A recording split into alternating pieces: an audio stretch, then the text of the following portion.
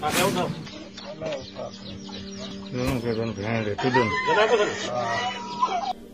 बिस्मिल्लाहिर्रहमानिर्रहीम। अस्सलाम वालेकुम पाक टीवी 24 के मुआज़ नाजरीन को खुश दोस्तों, जिस बंदे ने इस वीडियो के नीचे सियासत की तो नतज का जिम्मेदार हो होगा ये मसला सियासत से और जाती लड़ाइयों से कहीं बड़ा है। हमारे मुआरे में हैवान तो फिर भी तर्स खा लेते हैं, मगर इंसान तो पहले गोश्त नोचा करते थे, अब तो रूह भी नोच लिया करते हैं। सिंध कश्मीर में माँ को नौकरी के लिए बुलाया गया और फिर दरिंदे माँ और तीन चार साल की बच्ची के साथ कई रोज तक ज्यादती करते रहे। ये वीडियो अगर हमारे निज़ाम को झंझ जोड़ न पाई तो हक है कि कयामत बर्पा हो जाए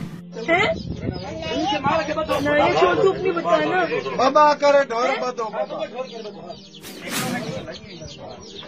क्या वो तो कि, किसने ये तेरा हाल किया है बताओ किसने तेरा हाल किया है मुझे बताओ ये हालत है अंकल ने किसी कैसे किए हाँ। बता रही हाँ? क्या हुआ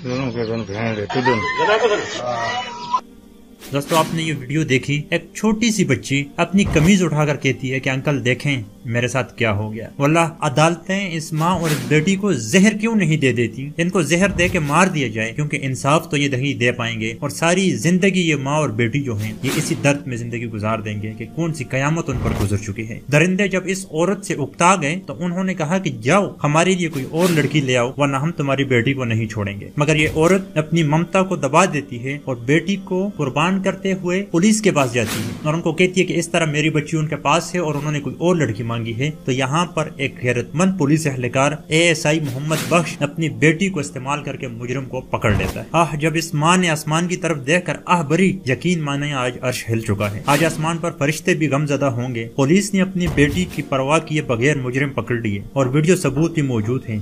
मगर होगा क्या? ये तस्वीर देखने ये लोग कह रहे हैं कि, ए पाकिस्तानियों, ए इस्लामिया जमहूरिया पाकिस्तान के हुक्मरानों, ए इस्लामी जमहूरिया पाकिस्तान की अदालतों, हम तुम्हारे बच्चों को नोच नोच कर खा चुके हैं। हम उनकी रूहें नोच चुके हैं। तुमने हमारा क्या उखाड़ लिया? जो तुम इस मुजरम का कुछ उखाड़